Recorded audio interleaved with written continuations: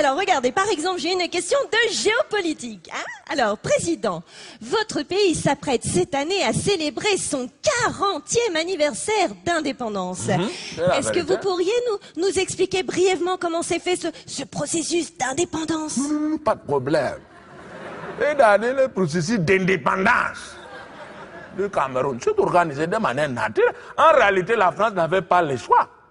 Comment De Gaulle, il, était embêté. Il fallait arrêter avec les affaires de colonisation, de machin. Sous la pression internationale, il avait deux solutions. Fallait-il euh, donner la citoyenneté française à tous les indigènes africains? Non, il a dit non, non, non.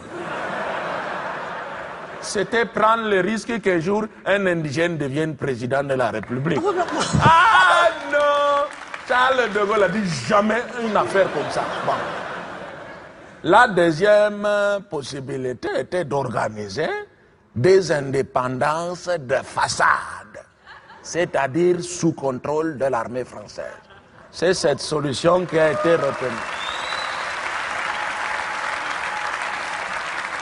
C'est c'est cette solution qui a été retenue par euh, mon employeur et je dois dire aujourd'hui. Excusez-moi de, vous en- de interrompre, Votre Excellence. De qui parlez-vous de euh, l'employeur? Parce que vous êtes président de la République. La alors- France. Je suis employé de cette entreprise depuis 1962.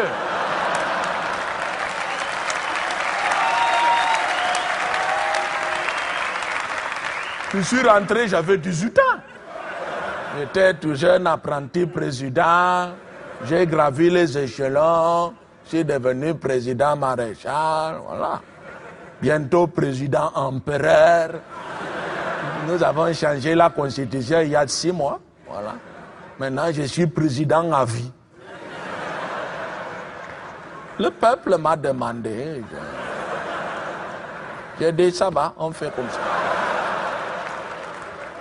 Beaucoup même me disaient, même mort, il faut rester président. Ah, j'ai dit non, comment? Non, non, non, non. Ça n'est pas démocratique. Non, non, non. Je peux rester président mort un mois. Voilà. Après, il faut que mon fils vienne là comme ça.